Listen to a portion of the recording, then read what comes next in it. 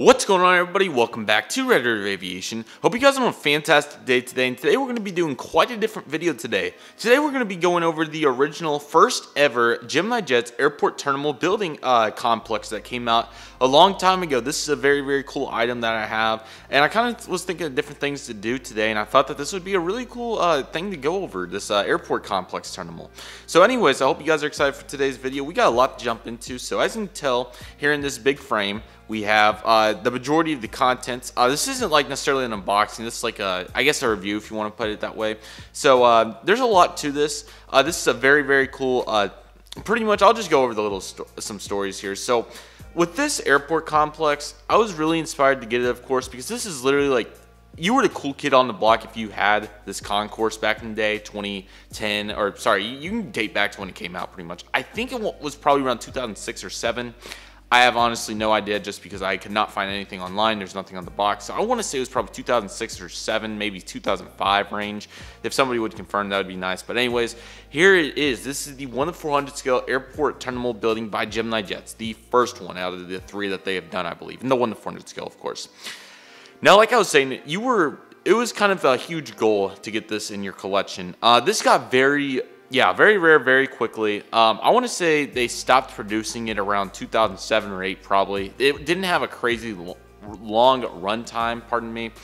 Um, the main reasons that the production stopped, I believe, just because it was mainly just too big for some people. Um, it's 22 gate facility, so uh, you can park a lot of planes at this uh, concourse, but nevertheless, people still ate it up. And as more collectors started to get into collecting, they really wanted their concourse, and it really became hard to find. Luckily, I came across mine on eBay for a very solid price uh, at the time. Uh, I got it for about $475, which was a very good price for the time. Um, definitely one of the best deals I've ever seen on it, and um, as of recently. And then um, I've had for seven years, obviously. So uh, nowadays, it doesn't really come off very often, honestly. Um, when I usually do see it, it's usually around the thousand dollar price range. It rarely does come up, uh, just because it's an awesome facility. One thing that did happen though in the timeline is uh, in 2000, I want to say it was 12 or 13 around that time frame. Uh, Gemini Jets came out with the seven gate concourse, which I do have. Mine's kind of beat up, so I won't show it. But uh, Gemini came out with the seven gate concourse, and believe it or not, that was around when I started collecting, and that was uh, one of my Christmas presents uh, in the late 2012 was that original concourse, and I lived off that for a while, which was very very cool. I had the mat and everything. Also, there is a mat that goes with this one. Obviously, I'm sure you guys have seen it. It's a really really big mat. It's like, oh boy, um, it's big. Um, I don't know if there's like any big YouTubers, if you want to put that way, that still use it. I know um, one guy that I was a big fan of, one of my biggest inspirations, John P3922, or now known as Ben Powell. He used the mat quite a lot. Um, a Flyer Triple Sevens, the guy that comes to mind, he used it for all of his airport stuff. Uh, mm, I don't know if there's anybody else that comes to mind off top of my head. Lone Warrior 6, he, he used it as well. So quite a few guys used it. It was really, really cool. But anyways, I know it's more of a review, but I kind of want to just go into it uh, in depth. And then I believe in 2017 or 18, Gemini Jets finally, after high demand, because this was kind of a big deal, collectors really wanted a big concourse, came out with their new uh, airport roundabout Relux or whatever. It's another 22 gate concourse, just like this one for the most part, but it is that bluish color and it has in pieces. It's a very, very cool one. I know like ID's Aviation uses it and quite a few other people do use that facility. I kind of thought about that one, but I was like, uh, it's like $600 or something. So I was like, that's a little much. So what a history uh, airport complexes have, and I know quite a few of you guys still use the 7-gate concourse as well. So very, very cool, but nevertheless, this is a review of the 1 to 400 scale airport terminal building by Gemini Jets in 2000, or the or first one. So we will begin with the box here. Okay, so here's the box, and as you can see, it is large. With the shotgun microphone, I really don't want to get up there and kind of show you guys just because of how bad the audio would be. So anyways, uh, at the top, you have the 1 to 400 scale airport terminal building, and then you have a very nice picture here of the concourse, as you can tell. Let me see if I can turn the box. There we go. As you can tell, we have a very nice picture here of the uh, box, and then we have um, a couple more pictures down here at the bottom. Some very, very cool models in these frames. Um, I don't know why, but there's not some tells on these. As you can see, we have unbranded uh, China seven, China Southern 787, uh, and then another model, and then a Continental. I don't know why some of them aren't aren't look uh, sorry, have labels on them. And then here's the Gemini Jets logo. Sorry about the focus. There's the Gemini Jets logo. And then here's another frame showing off the jet bridges in an Alaska 737-400. It said airport mats, airport vehicles, accessories, aircraft sold separately, six AA bat batteries included to light it up. And then you had the made for collectors by collectors and then the uh, 1 to 400 scale and the item number, which I probably should look up, but Here's the side of the box, much of the same. And here's the other side. Sorry, you guys can't really see. It's huge, literally. Okay, I'll just turn my microphone around just to see if that helps. Okay, so here is the another picture of it, a little higher view, and then just all the details about it. Uh, Pre-constructed three-piece contemporary airport terminal, and then includes 22 movable passenger air bridges, um, airport corporate uh, logos and stickers for the jet bridges, uh, interior roof LED lighting, uh, movable rooftop trail cam, which we'll look at that in a minute, uh, realistic, authentic, detailed graphics, which they did have, I agree with, and multi-level art enhanced construction detail. I think it's just talking about the gra or the design of concourse, which does look really very nice. So nothing on the box. Now let's take a look at the, um, I do want to look at the top. It's been in the closet for a long time. Just look at all that dust that is accumulated on the top. 2007, there it is, 2007, there it is. Oh yes, uh, we got the JetBlue A320 and American 767. That looks awesome, doesn't it? And then here on the bottom of the box, um, it's what it had on the back and then just really beat up. Um, I think I'm probably the second owner of this one. Um, like I said, it got sold on eBay. I'm not sure who the first owner was, but anyways. So here's what you get inside the box. Um, you have the box A, B, and C. Um, so most of my plastic pieces have went missing on these. So here's what one of the boxes looks like. It's pretty much one box per concourse piece. Now, unfortunately, um, I don't know what happened, but all my plastic pieces are gone. Normally you'd have plastic pieces in here that uh, show off, uh, had the concourse and then all the bridges and stuff. But I've since lost all of them. I don't know what happened. I know they came with them. I just don't know what happened. So here are the three boxes, but literally the plastic pieces are gone, which is very, very unfortunate. I don't know what happened, but anyways, that is the box. Very complex, but we will get into the actual concourse now. All right, everybody, so here it is. This is the Gemini Jets concourse, the original one, which is super, super cool. Uh, we'll go over each and everything in detail, and then I'll put it all together at the end, kind of just to show it off. But anyways, if you've seen my uh, retro updates, Dallas updates, you have seen this concourse on its full display. Uh, the very the first retro one, I put it all together like I had it back in the day, and then in the uh, Retro one and the normal Dallas updates, you guys have seen this concourse many times. So this is all I use it for. I did use it as a primary airport setup for a very, very long time. However, um, as I wanted to do realistic replicas, it just didn't make much sense. So I've kind of peered it out and used it um, as, oh yeah, and then you guys have seen in my uh, storyline on that mat, which also, that was kind of a big deal too, the add-on to stories. A lot of people, Gemini just 13, um, many people have used the mat with it, uh, the airport diorama mat that is, uh, Geminitis 333. They all used the mat, the airport diorama mat, because it was a little more compact and just had a lot of open area, which the Gemini Jets one didn't have, and only um, it pack everything in a perfect uh, atmosphere and just really, really worked well.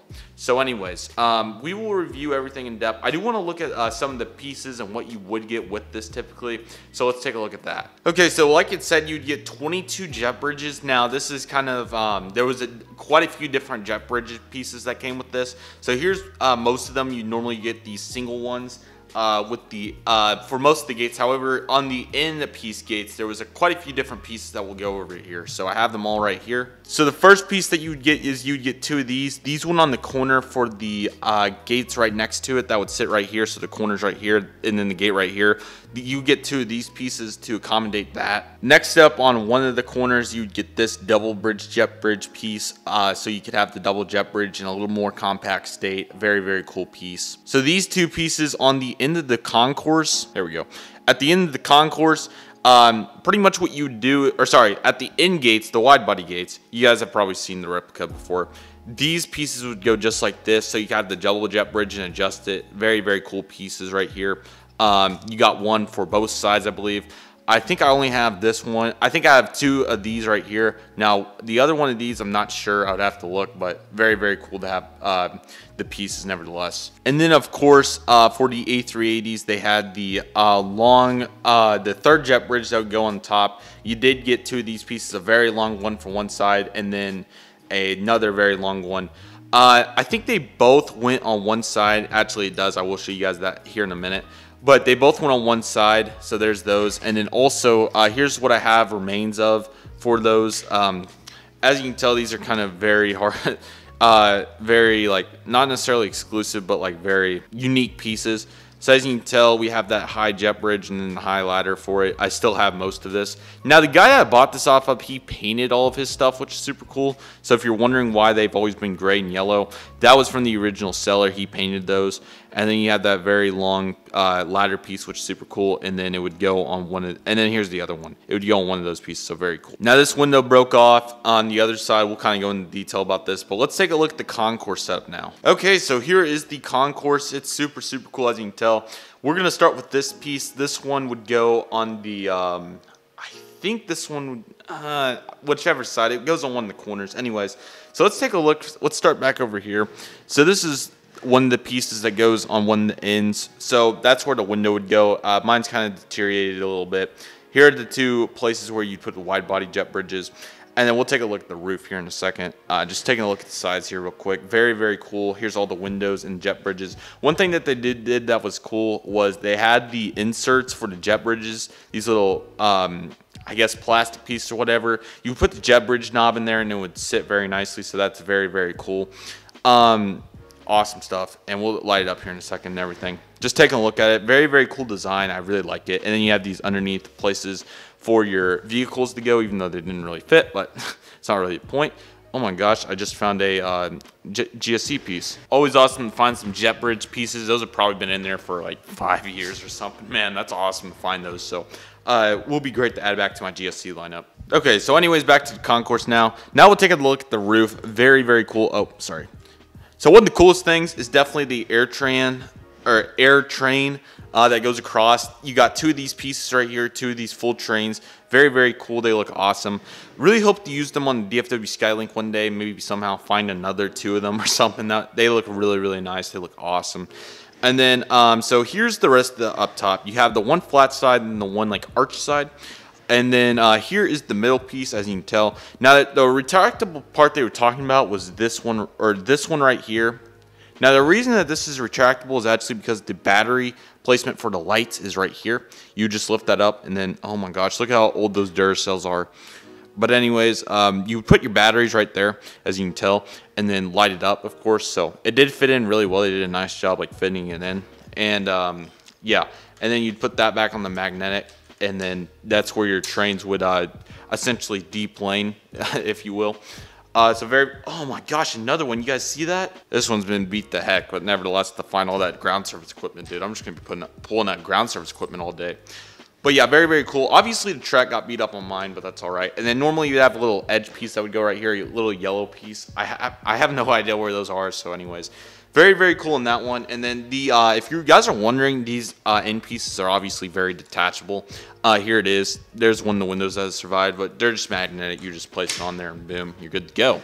So let's take a look at the middle concourse now. Definitely going to be uh, looking out for those pieces.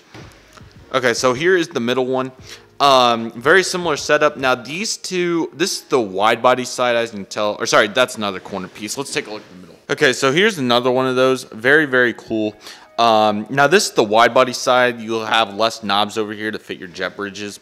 And then on the other side, there is the other train of mine right there. And I will show you guys the light up because I forgot to do that. Rest in peace. Now on this side, this narrow body side, you have more pieces, of course, more places.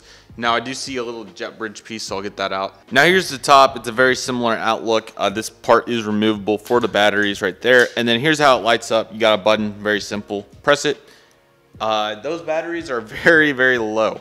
Okay, guys, sorry my camera went out. But anyways, you can see them. There they go. So as you can tell, four lights on the sides. Uh, those batteries are real bad, so they're probably not working very well. So very, very cool piece right there. Now here's the middle con, or sorry, the other end concourse piece. This is where the high jet bridges go. Very, very cool as well. Uh, very sim, uh, very similar. Sorry. Um, I don't see anything in the top of this one, just making sure because like I'll take any GSE, but nevertheless, find a little bit very, very cool. Uh, these pieces have fell out over time, but that's all right. Now over here, this piece, I've been trying to keep it together, but unfortunately, if you can't tell, it's definitely seen its better days. So Uh, very, very tough stuff right there that keeps falling apart, but it's all right. Now, actually, I will grab the piece here because actually, as you can tell, there's a little socket right here, and that's where your high jet bridge would go uh, on the wide body gate. Uh, as you can tell, it's not really one to go in there for obvious reasons, just because of how beat up it is, but that's how it would work. And it would just peer out like that, like uh, I wish I had a knob, but anyways, just like that. So very, very cool right there. Um, what a piece. So thank you guys so much for watching this review on the OG Gemini Jets Terminal, if you want to call it that, or the first ever iteration. I hope you guys enjoyed. It is a super cool piece, and if you can find it on eBay or wherever, I would highly recommend it if you get it for a good price. Obviously, um, it just depends on like your status. If you just want to be really go complete OG to get it for the Madden and everything, I'd highly recommend it. But the new uh, uh, roundabout one or whatever it's called. That one's still really good in my opinion. They're honestly very, very similar if you want to go there. So if you're not big on the like uh, antiqueness of this one, I would definitely try to get that new one. Um, but just honestly, um, this was back when I wasn't like a crafty person. I wasn't very good at building things, but that was just a little reason why I decided to get this concourse. Now with the new stuff, obviously I build my own concourses now and all that sort of thing. So it just makes more sense to just do that rather than buy a whole complex. And with all these model airports and everything, just makes more sense. Star Alliance Man is another one with the new concourse pieces, but maybe in the future I'll get the mat and the new concourse pieces back like when I'm in the future when I the model airports aren't aren't like a something I do consistently type deal and just have it nice laid out and just move some planes around, make some nice looks and stuff. That'll be a goal of mine in the future. Um, definitely very, very excited for those days. But nevertheless, I hope you guys enjoyed today's video. I want to thank you guys so much for watching. Stay safe, guys. Trust process. Do what you love and love what you do. My name is Red Aviation. I want to thank you guys so much for watching, and I'll see you guys soon as Red Aviation is signing off.